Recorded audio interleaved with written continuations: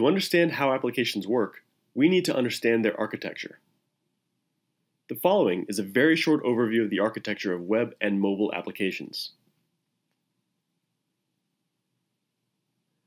First, we'll look at traditional web architecture.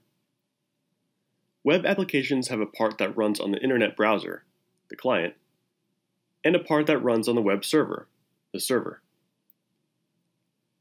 As we said before, the part that runs on the browser is called the front end, and the part that runs on the server is called the back end of the application. When a web address, or URL, is entered in the browser, the browser then makes a request to the server using HTTP protocol in order to access the resource corresponding to that URL. The web server is responsible for locating the address of the requested resource which can be a single web page or the home page of a web application. It then accesses the database if its information is required and builds a response in HTML code, which is the language used to format the content of the web page. This response is sent to the client browser that requested the resource. The browser interprets the HTML code and draws the screen, showing images, buttons, menus, controls, and all the information of the requested page, with the appearance and functionality programmed in the requested page or in the web application. By default, the browser shows the HTML elements with a native style, that is, the buttons, text, boxes, and other objects are seen according to the operating system and the browser being used. To customize the look and feel of these elements, the HTML allows including CSS, Cascade Style Sheets code. CSS, currently in its CSS3 version, is a graphic design language used to define the style of HTML documents. These include font color and type, background color, margins, and so on. CSS has evolved in such a way that it allows including animations and other advanced effects in web pages. For the web page displayed by the browser to not be static, and to achieve interactive behavior and a good user experience, the HTML code can also include JavaScript code.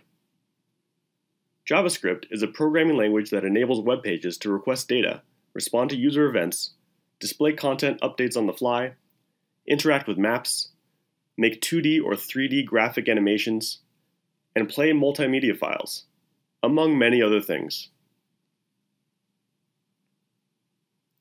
Recently, to enhance the JavaScript language by adding modularization, static data types, and classes, many web applications use the TypeScript language, which is an open source programming language created by Microsoft.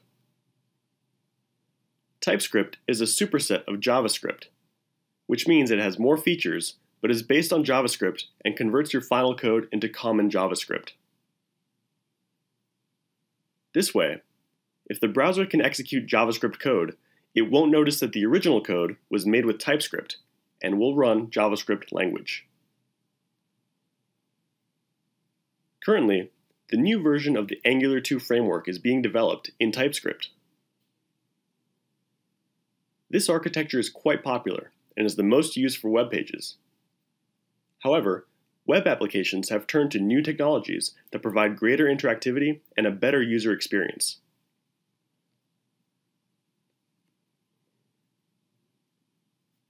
When the web application is required to show a lot of content on the screen, be highly interactive, and have a much faster response time than a traditional web application, a different architecture is used.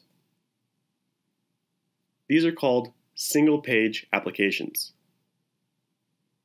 In this case, the application is sent to the browser and the page is not reloaded while in use, which provides a user experience similar to a desktop application. This implies that almost all the functionality is handled in the client, including the generation of HTML code, since the web application runs on a single page and the resources are dynamically loaded from the web server in response to user actions. To this end, the code on the server includes services, in other words, programs that respond to requests made by the client, like retrieving data from the database, but the application logic is on the client. When the browser requests a URL from the server, it responds with the page in formatted and decorated HTML code, as we saw in the case of a traditional web application. But then the client uses AJAX to request the data from the server by invoking the corresponding API, which obtains the data from the database and returns the information in JSON format to the client. This prevents the page from reloading, thus achieving better performance and enhancing the user experience. To implement this type of solution and have the browser keep in a single page an application that requires communication with the server, JavaScript frameworks are used. These include Angular, React, or Vue.js, among others. Although it can also be programmed using JavaScript directly, integrated with languages such as .NET, Java, or Python. The above frameworks are very efficient in manipulating the DOM, Document Object Model. This is a model that allows storing the web page's HTML as nodes and structured objects with their properties and methods. All modern browsers use this technology and allow for information to be quickly interpreted by the browser and displayed on the screen.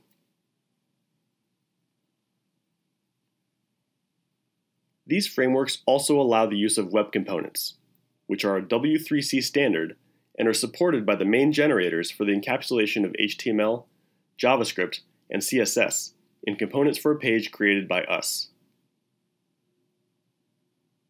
This facilitates the reuse of controls among developers. Although SPAs offer many performance advantages, they have some downsides in large systems because a very heavy client can delay the initial load. Also, security will be more difficult to monitor as the code is mostly in the client. So far, we've focused on web applications. Now let's look at the architecture of a mobile application. In particular, we'll consider mobile applications that are always connected via Wi-Fi, online applications, which is the most common scenario, although high performance or high availability mobile applications are usually designed offline.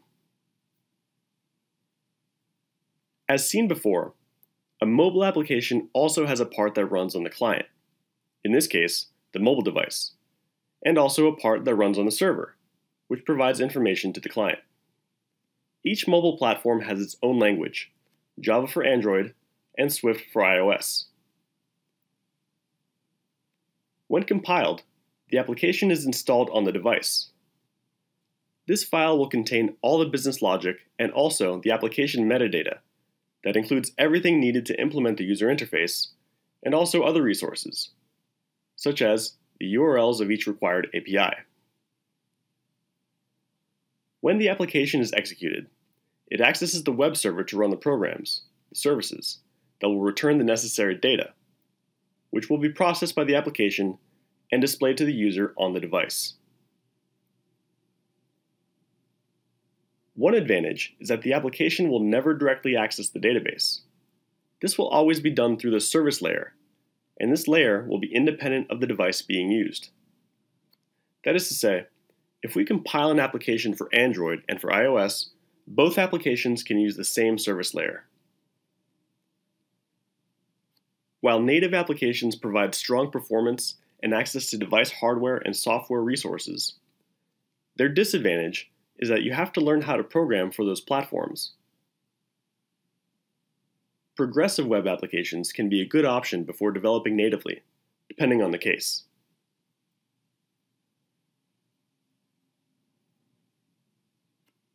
To sum up what we've seen, while traditional web architecture is still widely used for web pages, this is not the case for web applications, where it's considered obsolete. While single page applications have been a market trend, they can be problematic if the system grows, because the customer becomes too heavy, and also due to security considerations. The architecture of high-performance applications uses REST services in the server, as do mobile applications, and in both cases, the data is updated in response to client events.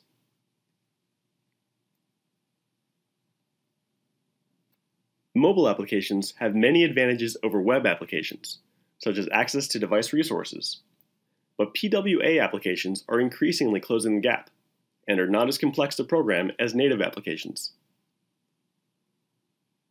With GeneXus, using all these platforms is not a problem because it's capable of generating web applications with an excellent user experience, whether they're single page applications or not. And also, generates applications in native code and also PWAs, with no need for you to learn any of the languages and frameworks or master the technologies involved. You can continue learning more about GeneXus in the wiki page.